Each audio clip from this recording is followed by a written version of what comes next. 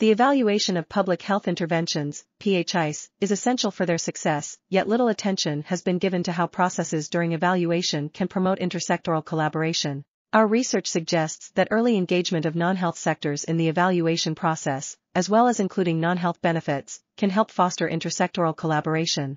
Additionally, harmonizing methodologies and conducting HIAs can also contribute to intersectoral collaboration.